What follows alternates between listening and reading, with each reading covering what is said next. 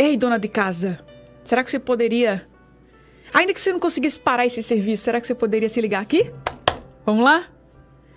Ei, mulher de Deus, você que está em seu ambiente de trabalho. Você pode parar um pouquinho, levar os seus pensamentos aos céus? Clarice, eu não posso parar, tudo bem. Tudo bem, você não pode parar.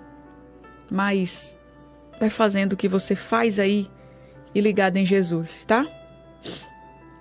Eu sei que você tem uma grande habilidade. As mulheres, estou falando com as mulheres agora. As mulheres têm uma grande habilidade. Ela consegue se ligar em duas, três, quatro, cinco coisas ao mesmo tempo. Se ela não consegue parar o que ela está fazendo, ela consegue continuar fazendo o que ela está fazendo e consegue fazer outra coisa e prestar atenção em ainda outra coisa.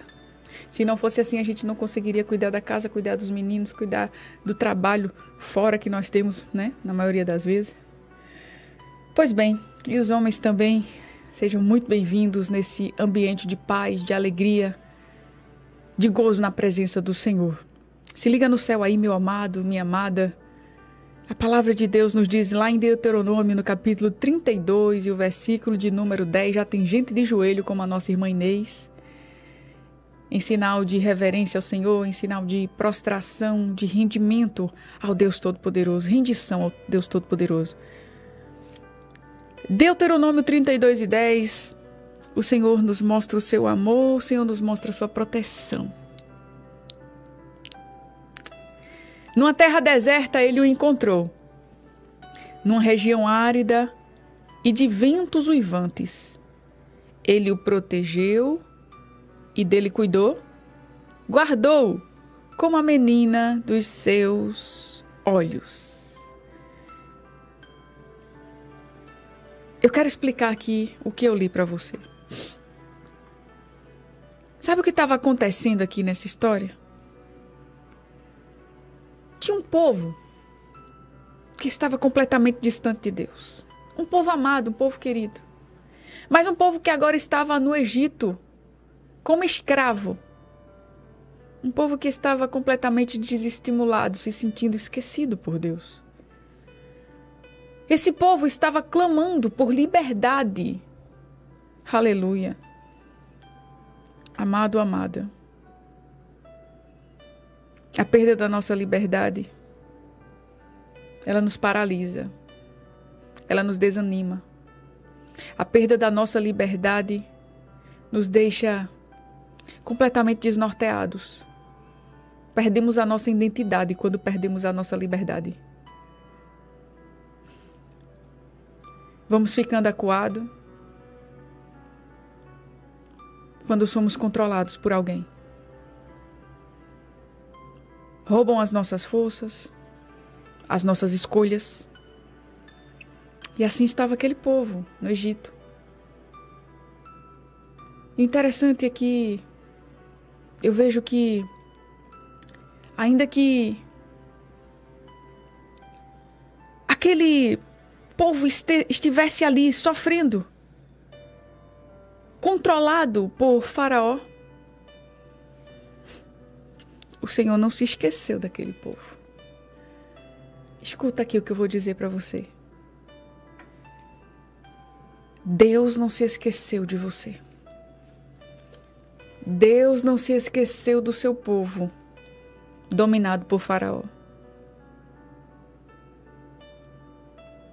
Faraó acha que está vencendo. Faraó acha que tem o controle. Faraó acha que está dominando e que isso vai durar para sempre. Você está ouvindo? Mas Deus está olhando para o seu povo e está dizendo assim: esse domínio tem dia esse domínio tem hora marcada para acabar. Aí o que é que Deus faz? Moisés? Levanta aí, Moisés, porque acabou o tempo de Faraó dominar o meu povo. Moisés, vai lá! Vai lá, meu povo precisa realmente ser tratado. Mas esse povo ele vai ser tratado no deserto. Aí Moisés vai lá. Faraó, deixa meu povo ir. Aí Faraó reluta. Deus manda as pragas, aquela história que você já conhece. As pragas, depois a morte dos primogênitos, que é o golpe final de Deus. Aleluia. E aí Faraó libera, libera o povo. E dentre muitos episódios, como a abertura do Mar Vermelho, onde Deus extermina o exército de Faraó, a gente vê ali o nosso Deus guiando o seu povo pelo deserto. Como uma águia guia os seus filhotes. Ensina a voar, ensina a comer. Eita coisa linda! Deus guiava o seu povo no deserto. Certamente, se eu pudesse escolher, e você também, nós escolheríamos pular essa etapa, né? Porque é ruim demais, meu irmão. Negócio de deserto. Eu quero ir para a terra que manda leite e mel. Eu quero comer das uvas lá da terra prometida. Lembra lá na frente quando Deus manda os espias lá na terra prometida? Vão lá ver se a terra é boa. Eles voltam com cachos de uvas que precisam de duas pessoas para carregar. Eu quero é comer dessas uvas. Eita, uva boa, doce grande. Aleluia. Ninguém quer enfrentar o deserto.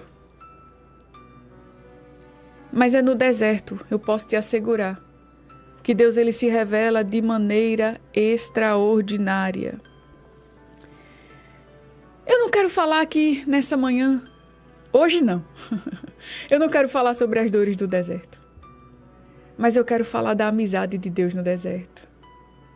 Eu quero falar do carinho de Deus no deserto. Eu quero falar da proteção de Deus, do zelo de Deus por mim e por você. Aqui nessa jornada, na nossa caminhada. Aleluia, aleluia, aleluia. Veja. Primeiramente eu li aqui esse versículo. Lá em Deuteronômio, no capítulo 32. Revelando como Deus olhava para o seu povo e como Deus guardava o seu povo. Como ele faz comigo, como ele faz com você. Veja que lindo. A Bíblia me diz que numa terra deserta ele encontrou. Numa região árida e de ventos uivantes. Olha que coisa linda aqui. Ele o protegeu e dele cuidou. Guardou como a menina dos seus olhos. Eu amo essa expressão, menina dos olhos. Que menina dos olhos é essa? Veja, lá dentro do seu olho existe. Na verdade, o seu olho ele tem um mecanismo de proteção. Tenta tocar no teu olho aí, quer dizer, não tenta. Porque se você tentar, você vai causar uma irritabilidade nos seus olhos. Mas ele tem um mecanismo de proteção para proteger a pupila. Se você tentar tocar, o teu olho ele fecha. Não é assim quando vem um vento forte? Quando vem um vento forte, automaticamente a gente fecha o olho. A gente precisa pensar, ó, oh, está vindo um vento forte. A areia vai irritar os meus olhos. Então, eu vou fechar os meus olhos para que eu não machuque, para que eu não irrite a minha visão. Você não pensa, se você ficasse pensando isso, ia entrar areia, ia machucar, ia ser tanta coisa. Então, o teu corpo ele tem um, um, um movimento, um mecanismo instintivo de fechar para que não machuque os teus olhos. Porque é uma região sensível. É uma região que precisa de muita proteção, proteção imediata. Você está entendendo? Aí o Senhor ele faz essa comparação. Nós somos a menina dos olhos de Deus. Meu, meu amado, minha amada, pode vir vento, estamos protegidos. Pode vir água, estamos protegidos. Pode vir fogo, estamos protegidos. Quando alguém tenta tocar, ou você mesmo tenta tocar, fecha. E aqui o Senhor faz essa comparação. Guardou-a como a menina dos seus olhos. Lá no Salmo 103, os versos 13 e 14: Sinta-se amado por Deus, sinta-se protegido por Ele. Olha que amor tão grande. Nos diz a palavra como um pai tem compaixão de seus filhos. Assim o Senhor tem compaixão dos que o temem. Veja Deus, Ele olhando para mim com um olhar de amor, com um olhar de piedade, com um olhar de misericórdia. Deus não é aquele pai que o seu pai foi para você. Eu imagino que é muito provável que o seu pai tenha sido duro algumas vezes, grosseiro. O seu, o seu Deus também não é o pai que você é para os seus filhos. Um pai, uma mãe também. Grosseira, pavio curto, que já quer ir para a lapada muitas vezes, né? Eu não estou dizendo que o pai e a mãe não podem dar uma palmadinha, não, de vez em quando, com amor, com justiça. Eu não vou ser antibíblica. Sou completamente contra tudo que venha a machucar uma criança, a abusar, obviamente, de uma criança emocionalmente, fisicamente. Eu não quero entrar no mérito dessa questão agora. Mas nós sabemos também que muitos pais extrapolam os limites e fazem com que os seus filhos sintam ódio, nojo, repulsa dos seus próprios pais e transfiram essa imagem de pai para o Pai Celestial. Pais que fazem tanta raiva aos seus filhos que os filhos começam agora a, a ter uma imagem terrível de pai. E sem querer, olham para o Pai Celestial dessa forma.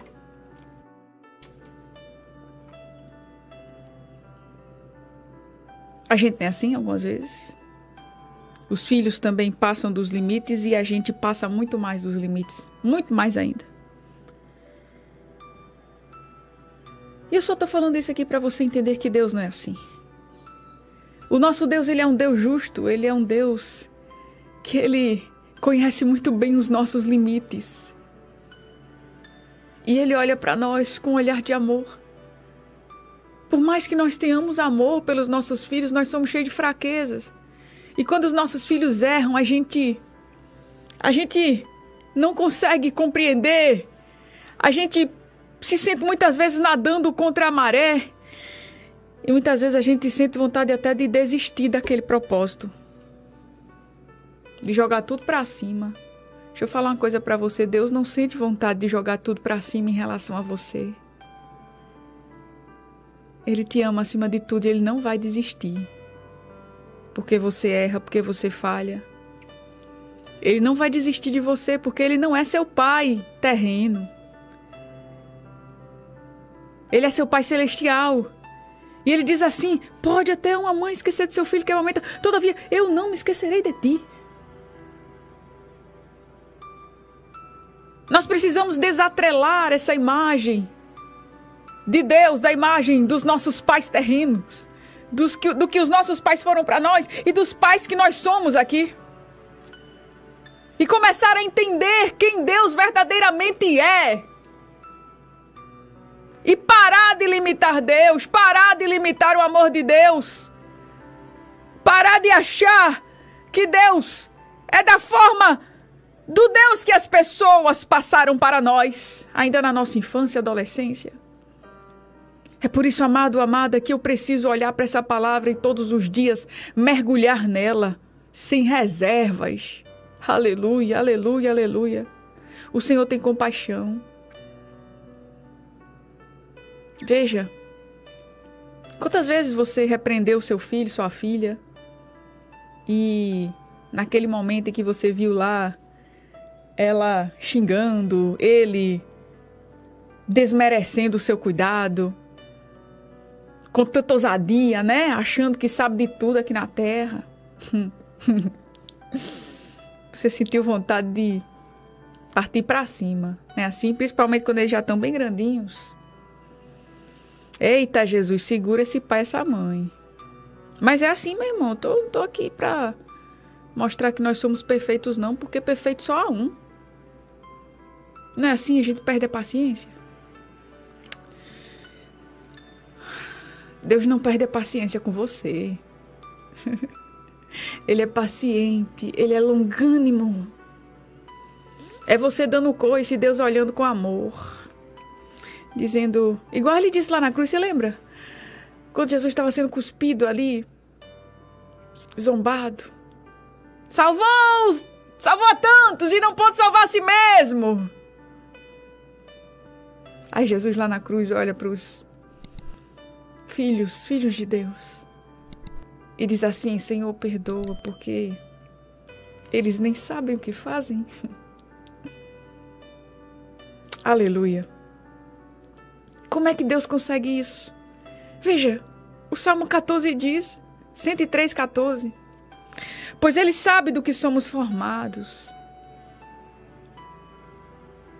Ele se lembra que somos pó.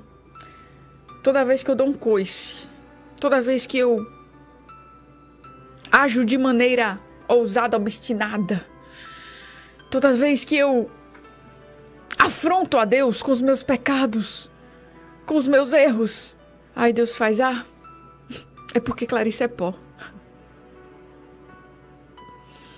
pois ele sabe do que somos formados. Ele se lembra, amado, não que Deus se esqueça de algo. Aqui a palavra ela usa uma, uma, um termo, uma expressão para que eu e você possamos entender mais ou menos como acontecem as coisas no mundo sobrenatural. Quando Deus, ele olha para você, você que se esforça para acertar, você que luta para para ser, para fazer diferente. Aí você erra, aí Deus olha para você e diz: "Ah, eu me lembrei. É porque ela é pó. É porque ele foi formado do barro. Aleluia, aleluia. É por isso que ele olha com um olhar de compaixão, ele entende quem nós somos. Você que teme ao Senhor. Isso é lindo. Glória a Deus, glória a Deus, glória a Deus, glória a Deus. Lá em Isaías, o Senhor é uma mãe que não se esquece dos seus filhos. Ele faz a pergunta: será que uma mãe tem como não ser apaixonado por Jesus? Quando a gente começa a refletir nessas palavras, escuta aqui. Eu quero já finalizar porque nós vamos orar. Nós vamos orar pela sua família, nós vamos orar por você. Nós vamos orar pela sua saúde física, nós vamos orar pela sua saúde emocional. Mas eu quero aqui finalizar te fazendo uma pergunta. E você tem confiado que o nosso Deus ele tem cuidado de tudo para você? Você tem confiado que ele está ao teu redor? Lá em Zacarias 2 e 5, o Senhor ele diz na sua palavra: "Pois eu, diz o Senhor, serei para ela um muro de fogo ao seu redor." Você tem confiado nessa muralha de fogo ao redor da sua casa? Você tem confiado nessa muralha de fogo ao redor da tua família, te protegendo, te livrando, te esquentando? Aleluia! Você tem confiado nesse Deus Todo-Poderoso? Aleluia! Deus nos guarda das investidas e das armas do inimigo. Ele nos guarda do maligno. Louvado e engrandecido seja o nome do Senhor Jesus. Que Deus te abençoe, amada. Que Deus te abençoe, meu amado. Que essa palavra fique guardada em seu coração. Esse amor do Senhor. Esse amor do Senhor cheio de justiça. Esse que cuida de nós como um pai tem compaixão dos seus filhos e que sabe quem nós somos. Isso não é pretexto para vivermos errando. Isso não é pretexto para nos entregarmos a uma vida de sujeira e de pecado, pois isso, quem assim pensa, esse é um sinal de que você não tem compromisso com Deus e que não é verdadeiramente filho. Aqui a palavra de Deus está dizendo que o Senhor tem compaixão dos, dos que o temem. Se você teme ao Senhor, se você luta contra si mesmo, contra o pecado, mas ainda assim você falha, continue confiando no amor de Deus. Continue confiando na longanimidade, na paciência, na misericórdia do Senhor, porque Ele sabe quem você é. Chegará um dia em que estaremos pisando em ruas de ouro e de cristal, lá seremos seres perfeitos, juntamente com o nosso Pai. Lá onde não haverá dor, não haverá tristeza, não haverá luto, nem lutas, só alegria, só gozo na presença do Senhor. Guarda essa palavra no teu coração. Eu vejo aqui nessa palavra Deus se revelando através da sua ternura, do seu cuidado, do seu carinho para conosco. Vamos orar agora. São nove horas mais 14 minutos, nove e 14 na sua nova de paz. E eu quero orar com você. Eu quero elevar os meus pensamentos aos céus. Juntamente com esse povo aqui que crê. Ai de mim, se eu não crer. Ai de nós. Obrigada, Jesus. Muito obrigada.